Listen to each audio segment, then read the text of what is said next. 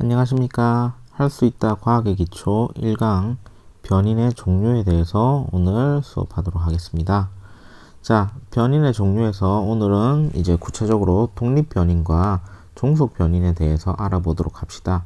자, 근데 독립변인, 종속변인에 대해서 알아보기 전에 먼저 변인이 어떤 건지에 대해서부터 하도록 하겠습니다.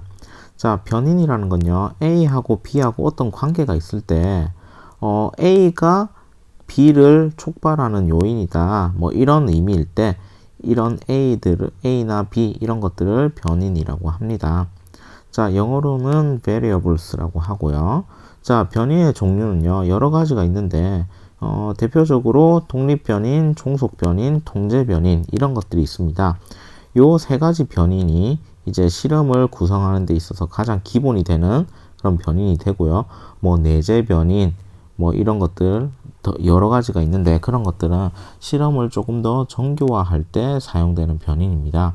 자, 그래서 그런 것들은 상황에 맞게끔 더 공부하시면 되고요.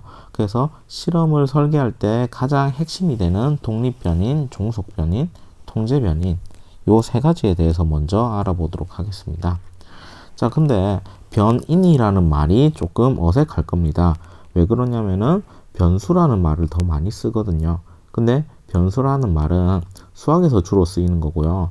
어, 과학이나 사회학 연구에서는요, 변인이라는 것들을 더 많이 씁니다. 자, 그래서요, 이 두 개의 차이는 뭐 거의 비슷합니다. 거의 동일한 의미인데, 둘 다 이제 영어로 하면은 variables라고 하고요. 어, 여기 번역된 걸 보면요, 수는 그냥 넘버예요, 넘버. 넘버이기 때문에, 변수는 수학에서 보통 많이 쓰기 때문에, 어, 이제 학교 교육에서는 수학이 더 과학보다 더 많이 배우기 때문에 변수 이런 것들에 대해서 더 많이 들어봤을 거예요.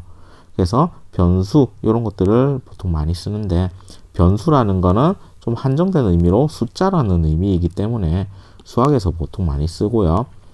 여러 가지 인과관계 이런 것들은 과학에서 다루기 때문에 이런 것들은 변인이라고 많이 씁니다. 자, 이제 본격적으로 변인에 대해서 같이 해보도록 합시다. 자, 먼저 독립 변인이 있어요. 독립 변인은 영어로 independent라고 해요. independent라는 거는 독립이라는 말이잖아요. 자, 그래서요. 어, 뭐 어떠한 함수 관계나 실험 관계에서 다른 변인의 변화와는 관계없이 독립적으로 변화시킬 수 있는 것, 내가 직접 값을 바꿀 수 있는 것들, 이런 것들을 독립 변인이라고 해요. 어, 쉽게 생각하면 수학에서의 함수값 x라고 생각하면 돼요. 자, 함수는요, 이렇게 보통 많이 표시했죠.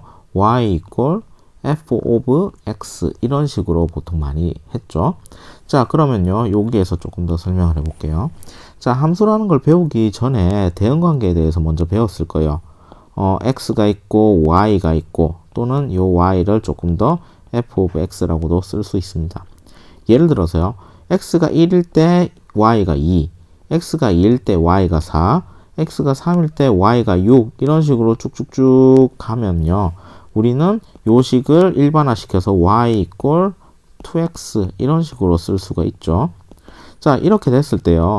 어, 우리가 바꿀 수 있는 거 우리가 무의식적으로 그냥 넣은 값은 요 x죠. 요 x가 쉽게 얘기하면 독립변인 또는 독립변수라는 거예요. 즉 그래서 내가 자유롭게 값을 마음껏 변화시킬 수 있는 거예요. 자, 어떤 실험을 할 때도 A라는 요인이 B라는 거에 미치는 영향 이런 것들을 조사할 때요. A라는 요인의 뭐 농도를 바꿀 수 있, 농도를 바꾼다든지 아니면 횟수를 바꾼다든지 이런 것들은 실험자가 마음껏 할 수 있는 거잖아요.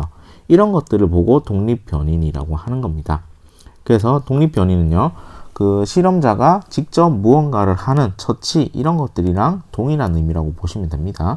그래서 실험을 한다라는 말은 독립 변인을 바꿔서 무언가 데이터 값을 얻어낸다라는 거야. 자, 그에 반해서 종속 변인은 뭐냐면요. 요 독립 변인을 통해 가지고 어떠한 실험을 했을 때 얻은 결과값이라는 거야. 결과값. 자, 결과값이기 때문에요. 독립 변인의 변화에 따라서 값이 결정되는 겁니다. 쉽게 생각하면 수학에서의 y 값이라고 보면 돼요. 자, 여기로 다시 가볼게요. 자, 우리가 x라는 애에다가 이제 무언가 값을 넣었을 때 자동으로 y가 계산되어 나가죠. 어떤 것 때문에? 요, 요것이 함수라는 규칙 때문에. 자, 그래서요, y라는 거는 쉽게 얘기하면 결과값이에요. 그래서 이 x라는 건요, 우리가 실험을 해가지고 무언가 값을 바꿔주는데, 바꿔줄 수 있는 거. 그럼 거기에 대해서 y는 거기에 대한 결과값이라는 거야. 자, 쉽게 생각해서 요런 겁니다.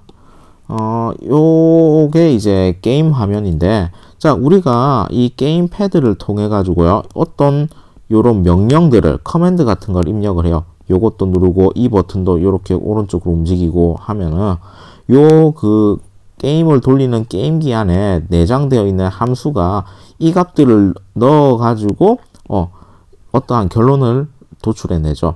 그걸 이제 화면에 이런 식으로 표시해주면 선수가 이렇게 움직이고 슛을 하고 이런 것들입니다. 그래서요, 어, 요 초등학교 때 배웠던 이 함수 박, 뭐, 함수, 요런 모식도, 요런 것들인데요.